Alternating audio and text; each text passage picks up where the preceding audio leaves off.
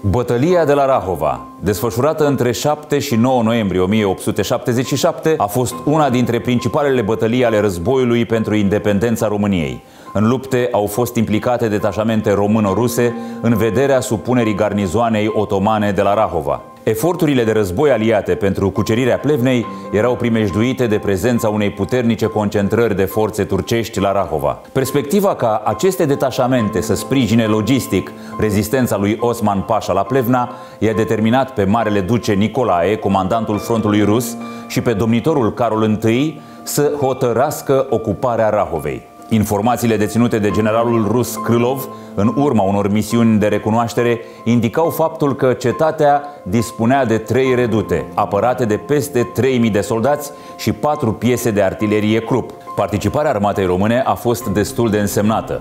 Cei 5.000 de soldați români, aflați sub comanda colonelului George Slănicianu, în majoritate dorobanți, urmau să acționeze alături de confraților aflați sub steagul generalului major rus Maendorf. Între 17 și 29 octombrie 1877, un corp de oaste român, sub comanda majorului Constantin N, a obținut o victorie la Vidin, reduta care apăra Rahova dinspre miază zi. Strategia folosită de unul dintre cei mai competenți ofițeri români ai momentului a presupus un atac combinat al cavaleriei, infanteriei și artileriei. Luarea redutei a deschis drumul către Rahova. Atacul româno-rus asupra garnizoanei otomane de la Rahova beneficia de susținerea logistică a bateriilor de artilerie de la Bechet, care au facilitat transferul trupelor române de dorobanți spre linia frontului, împiedicând în același timp acțiunea ostilă a navei turcești Podgorița, ancorată în spatele ostroavelor Ciftele. De altfel, Monitorul a fost scufundat ca urmare a acțiunii artileriștilor români îndrumați de majorul Maican Dumitrescu. Grupul de luptă sub comanda colonelului George Slănicianu a ajuns la Selanovcea, la 6 km de Rahova, în ajunul declanșării conflictului, fiind urmat de trupele colonelului Crețeanu și cele ale generalului major Maendorf. Dislocarea corpului său de armată în teatru de operațiuni presupunea așezarea infanteriei în centru, flancată de cavalerie și susținută din spate de artilerie.